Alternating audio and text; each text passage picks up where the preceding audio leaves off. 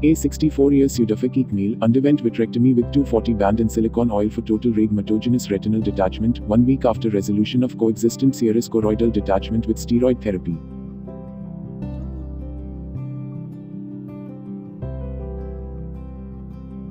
Eight weeks after primary reattachment presented with inferior recurrent RD involving macular and reopened retinal breaks due to PVR.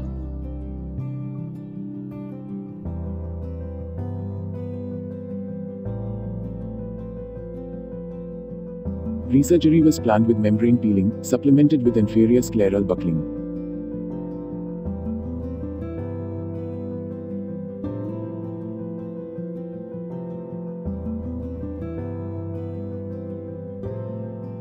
After conjunctival peritomy and recti muscle tagging, scleral mattress sutures were pre-placed in inferior quadrants, followed by removal of previous 240 band.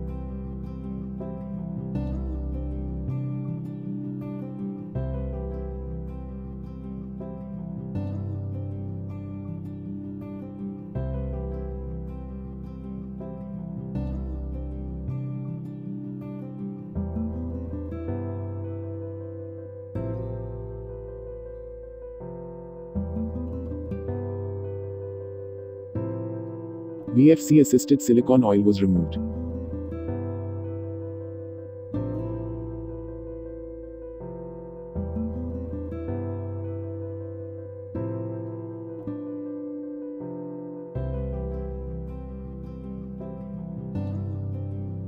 Here, we can see reopened large inferior retinal breaks.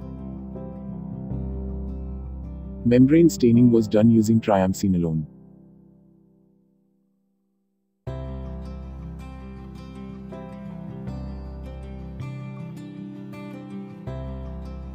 After staining, membrane peeling is initiated using finesse loop to find an edge. One can also use BBG and trypan blue dye for staining.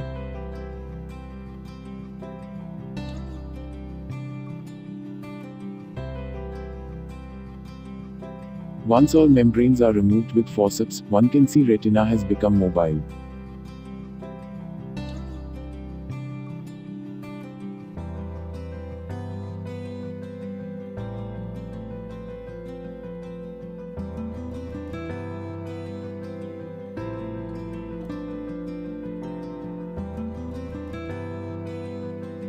'Fluid Fluid-air exchange is performed with endodrainage.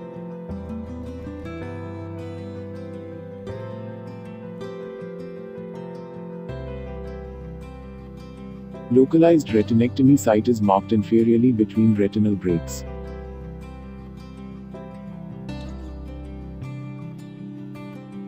Two seventy nine silicon scleral buckle is placed under mattress sutures covering inferior half.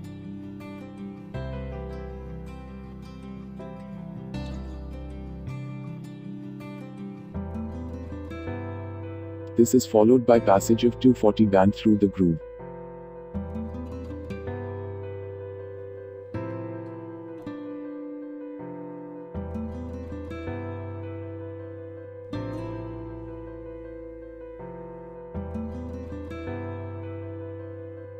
After completing endodrainage through superior retinotomy, localized inferior retinectomy was completed using cutter with minimal vacuum.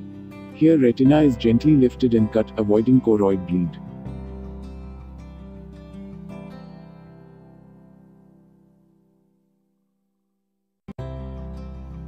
Endolaser was applied around retinotomy and retinectomy.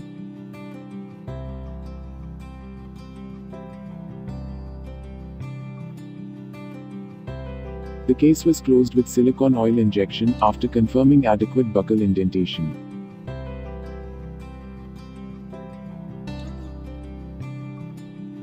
Postoperative BCVA improved to 20 by 400 from counting fingers. Retina was well attached with the at macula, having good inferior buckle indent and silicone oil in situ.